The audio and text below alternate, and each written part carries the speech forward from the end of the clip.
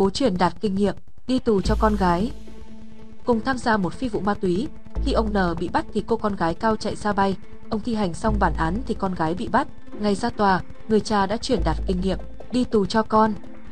Hai cha con cùng buôn ma túy Vi Thị Nga, sinh năm 1984, chú xã Châu Thôn, Quế Phong, Nghệ An bị đưa ra xét xử về tội mua bán trái phép chất ma túy. Hành vi phạm tội của Nga và đồng bọn diễn ra từ 15 năm trước.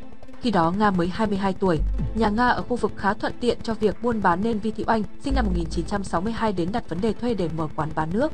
Cô gái Sơn Cước xinh xắn con ông chủ nhà cũng khiến khách lui tới quán nước thường xuyên hơn, trong đó có người đàn ông tên Mẹo. Khoảng tháng 10 năm 2006, Mẹo tỷ tê rủ Nga vào Anh tìm mối bán ma túy, nguồn hàng ông ta sẽ lo.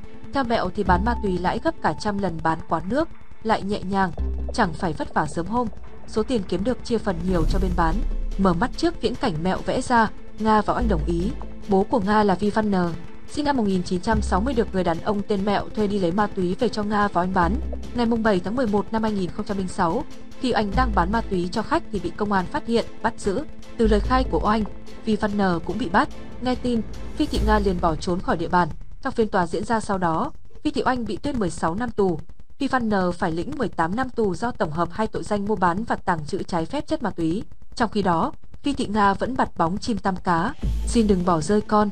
Sau khi rời khỏi nhà, Vi Thị Nga lưu lạc một số nơi trước khi theo đường dây vượt biên sang Trung Quốc. Nhờ có nhan sắc nên Nga được một người đàn ông cùng quê cư mang và sống với nhau như vợ chồng, có hai đứa con chung.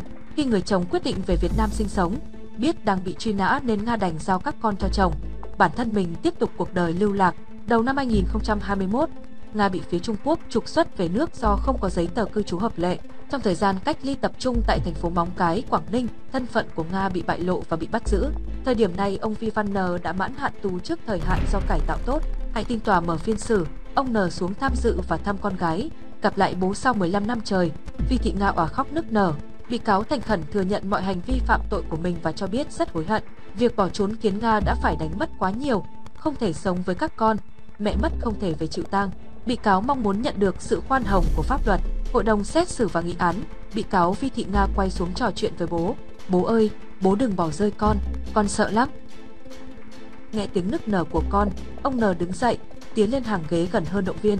Con đừng lo, ở nhà bố có đói ăn thiếu mặc đến mấy cũng cố gửi tiền cho con. Con cứ yên tâm cải tạo, ngoan ngoãn, nghe lời cán bộ để con được khoan hồng, giảm án ra tù trước thời hạn. Để con gái yên tâm, ông N hứa sẽ lo cho hai đứa con của Nga học hành đến nơi đến chốn. Người đàn ông là bố của các con Nga hiện đã có vợ mới. Xét thấy trong vụ án này, Vi Thị Nga giữ vai trò đồng phạm thứ yếu, chưa từng có tiền án tiền sự. Bản thân bị cáo nhận thức được hành vi phạm tội và tỏ ra ăn năn hối cải, hội đồng xét xử tuyên phạt 11 năm tù. Nếu dũng cảm đối diện với sự trừng phạt của pháp luật, có lẽ giờ này Vi Thị Nga đã có thể bắt đầu lại cuộc sống với một thân phận khác chứ không phải kết thúc cuộc chạy trốn kéo dài 15 năm cô đơn để bước vào căn phòng giam lạnh lẽo. Vi Thị Nga khóc như mưa khi được dẫn giải ra khỏi phiên tòa. Bố ơi, con sợ lắm, bố đừng bỏ rơi con. Nga cố quay lại nhắn với người cha của mình. Bố hứa với con rồi, cả nhà ta không ai bỏ rơi con đâu, con yên tâm mà cải tạo. Lời ông N như rơi tõm giữa phiên tòa vắng lặng. Ông hy vọng rằng những kinh nghiệm đi tù của mình có thể giúp con vững tâm mà trả án. Hoàng Lam